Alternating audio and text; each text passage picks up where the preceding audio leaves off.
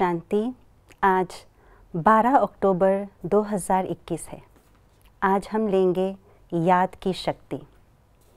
कहते हैं, याद से याद मिलता है। जब हम दिल से बाबा को याद करते हैं तो बाबा तक हमारी याद पहुँच जाती है। लेकिन उस याद को शक्तिशाली बनाने के लिए मुझे अपने मन में सिर्फ़ एक बाबा को ही समाना होगा। एक व्रता, एक बल, एक भरोसा। यही याद की शक्ति का आधार है। सुनते हैं आज का स्लोगन। वानप्रस्थ स्थिति में जाना है तो दृष्टि वृत्ति में भी पवित्रता को अंडरलाइन करो। वानप्रस्थ स्थिति अर्थात वाणी से परे की स्थिति, आवाज़ से परे निराकारी, निरसंकल्प स्थिति। एक आवाज़ होता है मुख द्वारा आवाज़। और दूसरा आवाज़ होता है संकल्पों का आवाज़। दोनों ही आवाज़ों से परे जाने को ही वानप्रस्थ स्थिति कहा जाता है।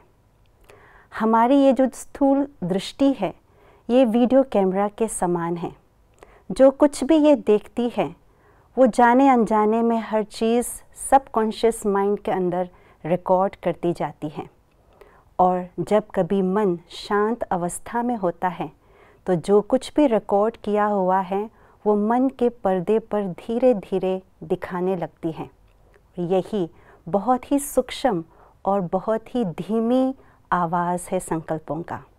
और यही आवाज़ जो दृष्टि द्वारा रिकॉर्ड किया मन के अंदर, यही आवाज़ हमारे वृत्ति को भी प्रभावित कर लेते हैं। इसी कारण से हम वानप्रस्थ स्थिति अर्थात वाणी से परे जा नहीं पाते हैं। तो वाणी से परे जाने के लिए मुझे अपनी वृत्ति को पहले पकड़ना होगा, क्योंकि वृत्ति से ही दृष्टि बनती है। जब मेरे मन के अंदर, मेरी वृत्ति में सबके प्रति आत्मिक भाव और भावना है तो ये वृत्ति हमारी स्थायी हो जाती है, पवित्रता की स्थायी आ जाती है। और इस वृत्ति से जब हम हरेक आत्मा को आत्मिक दृष्टि से देखने लगते हैं तो कोई भी रिकॉर्ड नहीं होता। सिर्फ़ आत्मा लाइट और परमात्मा की संतान है। यही स्मृति रहती है और यही दृष्टि और वृत्ति रहने के कारण से हमारा मन सदा शांत होता है।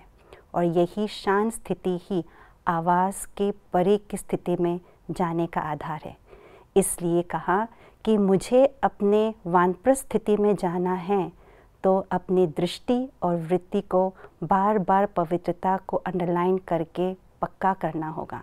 अंडरलाइन करना माना बार बार अटेंशन देख कर के पवित्रता को प्रैक्टिकल धारणा में लाए कि सब आत्मा भाई भाई हैं, सब अपने हैं, सब आत्मा है।